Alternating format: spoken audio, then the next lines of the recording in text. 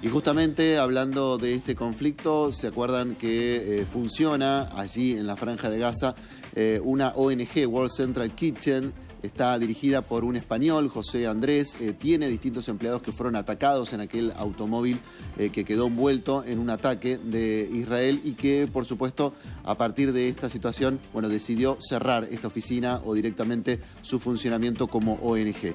Para tener más detalles de lo que sucedió y de esta decisión tomada, vamos a compartir el siguiente informe.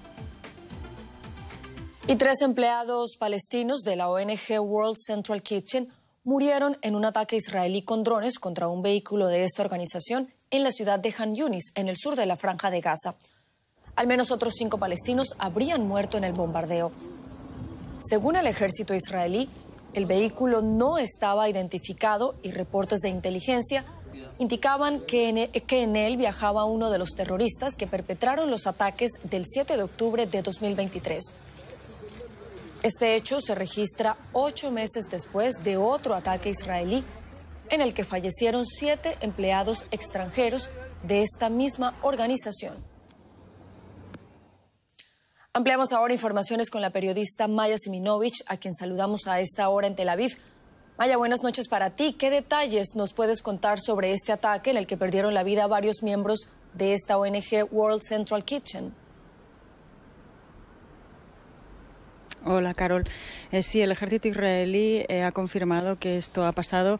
Eh, en las primeras horas se puso en duda que fueran trabajadores de la World Central Kitchen y últimamente ha dicho que efectivamente el terrorista buscado, porque es uno de los cinco muertos, era también trabajador de la World Central Kitchen y le ha devuelto en realidad la pelota a la organización diciéndoles que verifiquen, por favor, e informen a qué personas contratan, puesto que este era un terrorista que ellos conocían y habían seguido y saben les consta que fue uno de los atacantes en el kibbutz Niros el 7 de octubre.